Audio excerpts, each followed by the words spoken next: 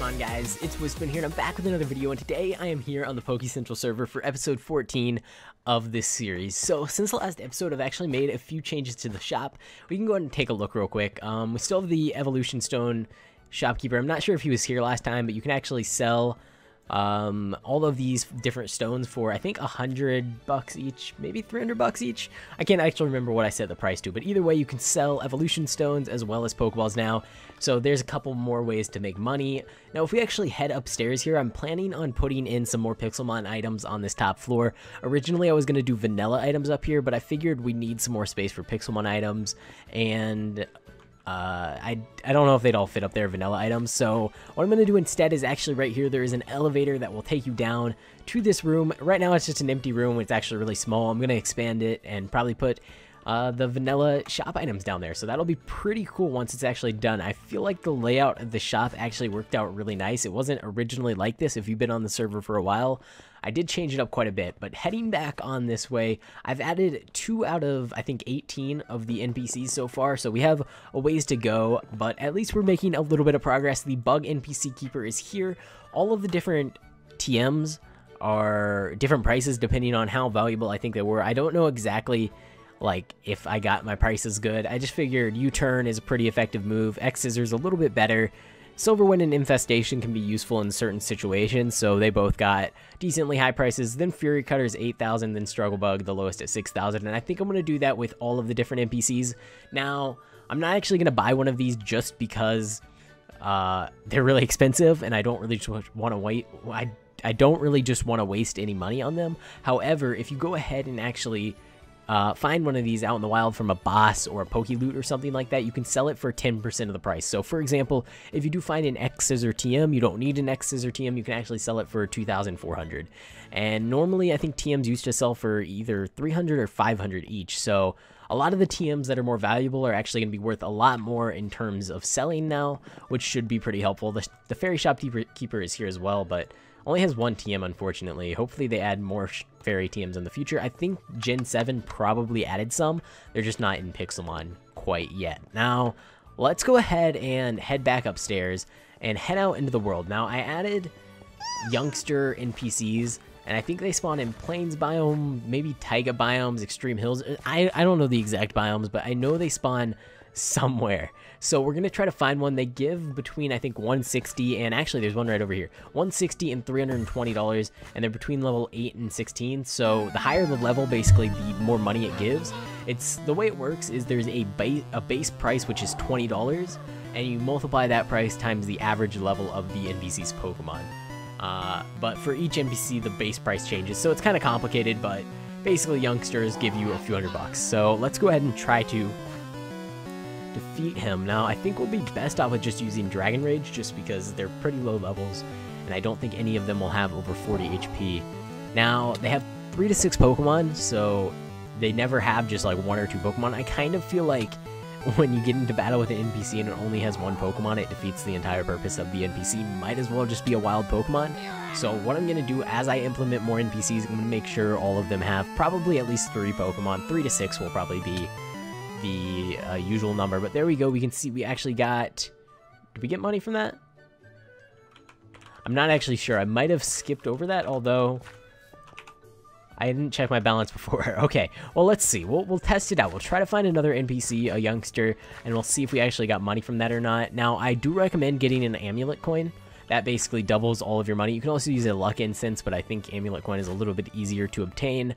So yeah, that doubles all the money you get from NPCs, which is pretty helpful. I think what I'm actually going to do, there's this move called, I, th I think it's a move, called Happy Hour, and it's event an event-only move, meaning that you can't really get it anyways unless uh, I add a specific NPC that teaches that move, uh, move tutor. So what I think I might actually end up doing is putting out a Happy Hour NPC move tutor every once in a while and just leaving it there for like a day or something. The only problem is I, I feel like a lot of people could just get like 50 Pokemon, teach them all the move, and then go ahead and do it that way, which would mean everybody would get like 50 Pokemon with Happy Hour. So the only way I can really see going around that is maybe making it cost something really expensive to get it, or to go ahead and make it cost an item that you guys can't obtain, like a badge, and then make it so you exchange that badge for the move so I can restrict it basically to one one happy hour Pokemon per person per event. I think something like that could be pretty cool, and it would help out a lot for the people that are joining for the events and all that different stuff. We might as well fight this Bellsprout, I guess. Stone Edge should one-shot it. Just get into battle here. And I think that'll be pretty cool. So let me know what you think of that, if I should add an NPC with uh, Happy Hour, and what I should do it for. I feel like maybe a summer event. I know the first day of summer is June 21st, 26th, 21st, some, something like that. I actually have no idea. It's some some some date in June. And I think we're hopefully going to have a summer event. And honestly, if we can have a summer event, it could last all summer. I mean, three months, that would be pretty cool for an event. As long as we made it big enough to where you guys have stuff to do all summer long. And I think I want to try to do something like that. It might be kind of hard. I should probably start planning it out now about a month in advance just so we have a lot of time to work with it. But we'll see how it goes. Now, in the I think two episode last episode two episodes ago I actually caught myself a Venipede and I never took the time to go ahead and check him out I completely forgot that I even caught him but let's take a look and see he is Jolly Nature which is good and if we go ahead and take a look at his IVs IVs 6 he has terrible IVs so I'm not going to use this guy. I'm going to go ahead and throw him in the trash can. However, I do really want a Venipede for my team. I think Scolipede is an awesome Pokemon. If you guys haven't really used him before, I definitely recommend checking him out. Now, let's go home and we'll head on over to the jungle. It is nighttime, and I'm not sure if he spawns at day or night. So we're definitely going to have to probably wait on him. Although Natus could spawn right now, so that could always be useful to catch a few more of those. But let's head on over here into the jungle. Now, this town is kind of chaotic. There are a lot of people that have moved in in the last few days. Like, probably a few hundred people. Okay, I might be exaggerating it just a little bit, but there's probably 50, 60, 70 people at least there are tons of houses all over the place, so we're to have to go ahead and check all of these out. What is this? Oh, it's just some random berry. Okay, I don't need that. We're to have to go ahead and check out all of the, the houses at some point, but I'm not sure how I'm to go about doing this just because there are a lot of houses for one, and two, a lot of them aren't really complete, and three, a lot of them it seems like people didn't really put much time into. But uh, some of them are actually pretty cool, so I guess we can just run around here. I kind of want to stay near the jungle, though, just so Pokemon spawn. I do want to try to get those Venipedes. Once this morning, I'm pretty sure they only spawn during the day. Not not 100%, but pretty sure. But I don't I don't actually see any Pokemon around here, which is kind of strange. Just a lot of items dropped on the ground. Now, I know a lot of you guys keep spamming me. Add a clear lag plugin. Add a clear lag plugin. They're, the, the items on the ground are not really causing any lag, uh, just based off of all the information that I have. So it's not really a necessity. I know it could be kind of useful just because there are so many drops and things just scattered all over the world that it kind of gets annoying to pick them up all the time. But all I can recommend is just maybe making a trash can at your house, either a cactus or a bucket of lava that you can drop your drops into instead of throwing them on the ground. Things like that would really help out. And I do clear items off the ground every once in a while, just randomly with a manual command. We might add a clear lag at some point in the future, but it's not really something that we're focused on. Now, this is a Venomoth, level 31. Let's let's try it out. I, I don't know if we can... Eh, we'll be fine. I'm sure we'll be fine. We'll probably one-shot it. yeah, okay. We actually one-shot it. I was kind of concerned about the level at the start there, but I don't even know why. That was easy. Now, okay. I'm, I'm really tempted to drop things on the ground, but I'm trying to be a better person, okay, guys? I'm going to stop dropping them on the ground.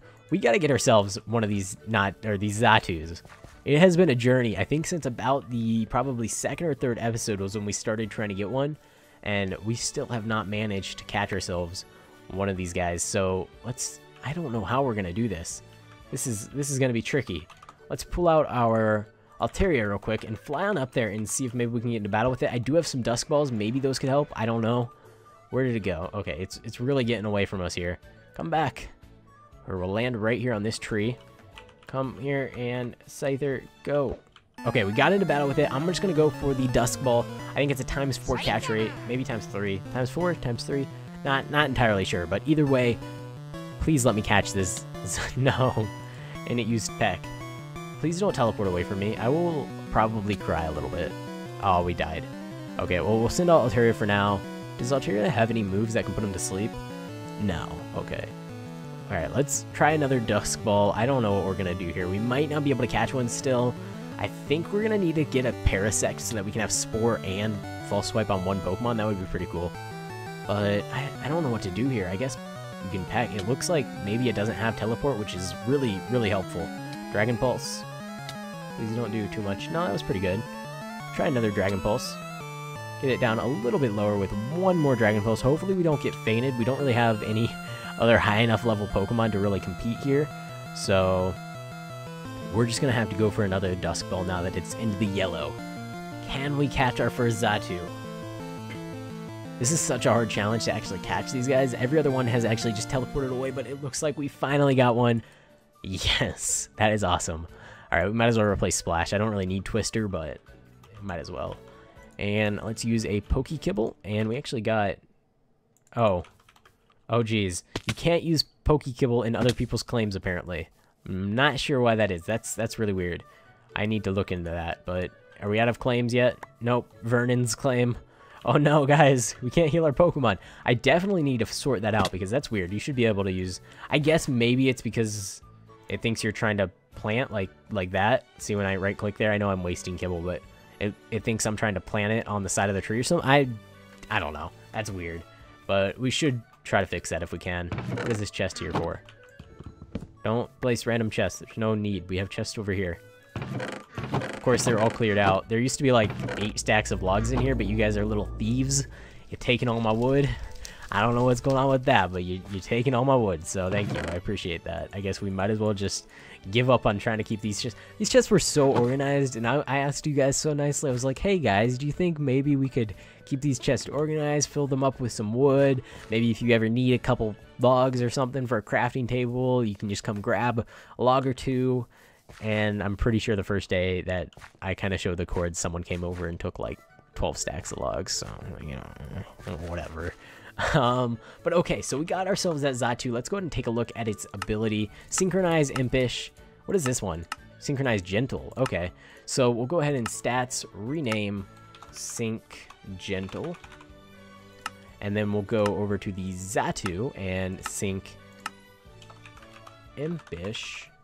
And there we go. Okay, we're, we're making our way up in the world. We got so many of these. Oops, I did that wrong. Okay, there we go. I got so many of these synchronized Pokemon. We have... Actually, Luxio, why, what are you doing in here? Get out of there. You're not allowed. You're not allowed back there. Alright, there we go. I think that's sorted out. So we have Jolly, Brave, Quirky, Adamant, Quiet, Impish, Calm, Docile, Hasty, Gentle, and Lax. Do we have two Gentles? No, okay, we have one Gentle. I don't know why I thought I saw two Gentles, but looks like we have about, I think that was 10? 10 so far, right? Hush PC. Uh, 5, 11. Okay, we have 11. We have 11 different synchronized Pokemon, 11 out of 25 total natures, making some progress there. Still have a ways to go, but at least we're getting quite a few. I'm still keeping an eye out for that modest one or that timid one because there are just a ton of modest and timid Pokemon out there. And by, by modest and timid Pokemon, I mean Pokemon that uh, do best with those natures. So let's go and gather up all these apricorns. Like, I would really like a Lapras. That could be pretty cool. Or maybe even like an Umbreon. But in order to get any of those Pokemon, I really want to make sure that I get the correct synchronized first. Just so that I have a higher chance of getting the right nature first try. Because I know they're pretty rare Pokemon. Now, ooh, there's a Sceptile here. That's actually pretty cool. I think instead of actually... Instead of trying to catch this guy, we're just going to take him out. I I I would try to catch him, but I kind of want the experience, so let's go with a Stone Edge and see how this goes. That really did nothing. Does Dragon Rage do more or less? Yeah, I think it did a little bit more, but I'm not too sure. I think either way it's going to take four hits to take him out, and he did a lot of damage there to us, so this is going to be a close one. Actually, I think he keeps using Leer, so we're good to go. Awesome. Thank you for just spamming Leer. That's great. Okay. So, are there any more Venipedes spawned in here? I, I don't see any anymore. I don't know why spawn rates are, are low right now. I guess maybe there's just a lot of Pokemon spawned around a lot of other people. I'm not entirely sure what the cause is. But I guess I'm just going to keep running around until I can try to find myself a Venipede or something similar. Like Scolipede or Evolutions or whatnot. Whatever it is, I'll try to find something and I will come back to you guys once I have. Alright guys, so I'm not really seeing any Venipedes around here, which is kind of unfortunate. There are a few Weepinbells, a few Mankeys, but No Venom. Maybe I was wrong. Maybe they only spawn at night. Let's let's get in a battle with this level 23 Weepinbell. Maybe we can get up to level 30 on our Gyarados. That would be pretty cool. Should be able to one-shot it and grab ourselves the experience. And there we go. Okay, level 30. All right, that's that's cool. At least we got something out of waiting here for a little while. I, I still, I really want that Venipede. And I kind of feel like half of the problem is still that there's too many leaves here. I don't necessarily want to cut down the entire jungle.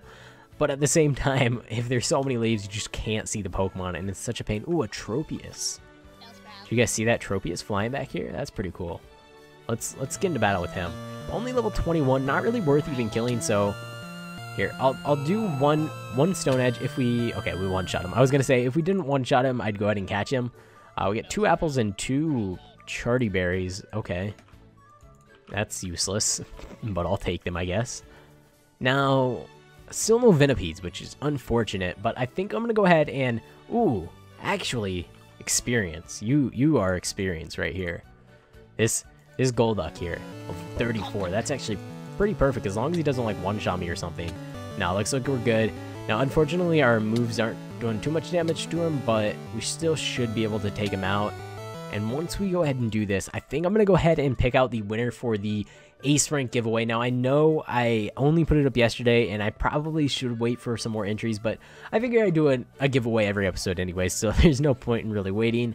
There probably have been more entries in that one than there have been in most of my giveaways in the past that have been running for just one day. So, yeah, if you missed yesterday's video, it basically was just a video covering the new Pokemon that are coming to Pixelmon, including Darkrai and uh, Heatran and Kriles Krilesia. Creslia, however you say it, whatever it is. And yeah, and then a bunch of others. So if you guys do want to check that out, make sure you go ahead and check out yesterday's video. The day before that, I did a video talking about NPCs and why they're not on the server currently. So make sure you go check that out as well if you're interested in why quests have kind of disappeared. And that's pretty much it in terms of just advertising for my own videos. But let's go ahead and use Stone Edge again. I, I feel like I'm using the wrong move here. I probably should be using Dragon Rage. And we definitely need to get some new moves on this Gyarados here. Not the best in the world. Now, we keep getting these Dark Prismarine blocks. Kind of pointless. I, I don't I don't know about these whole new Pixelmon. I might go ahead and look into the Pixelmon drop config file and change these things up because I feel like a lot of the drops just end up getting wasted, like thrown on the ground. Like, who needs one Dark Prismarine? If you really need Dark Prismarine, you're going to go find yourself a Sea Temple. You're not going to go out and battle Psyducks all day for one block for each battle. It's kind of silly. So I didn't actually make the drops, but I'm probably going to have to change them up. I like the berries, even though most berries do go to waste as well. It's kind of cool. It's like the only way to get Pixelmon items. But just like seeds, really? Do we do we need seed? Is there not enough? If there's is, is there not enough grass in the world to get enough seeds? Do we really need just regular old seeds? I don't know. It's it's weird. But I guess we'll see if I actually even get around to changing them up. Now let's get in the battle with this Weepinbell and then take one last look around to see if maybe we can find ourselves a... Wow, we're paralyzed. Oh no. Okay, we still we still took him out. Uh, take all, I guess. Now, is there any Venipedes around here? Is that what I'm looking for? Venipedes, right? I kind of forget what I was actually searching for. Uh, yeah, I don't, I don't think we're gonna be able to find one today for some reason. Unfortunately, they don't seem to be spawning in. I guess maybe they're pretty rare, and I just got lucky with my last one. I don't know. I feel like I've seen a few, but not right now. So I'm gonna go ahead and pull up the uh, giveaway selector comment picker thing, and we'll see who actually won the ace rank. Alright guys, so I did go ahead and load up the video from yesterday, the Pixelmon update video going over all the new Pokemon in the game. And I did promise you guys an ace rank giveaway, so let's go ahead and pick out the winner. 145 unique entries. That's actually pretty high for my giveaways, I guess because it was a rank more people are interested.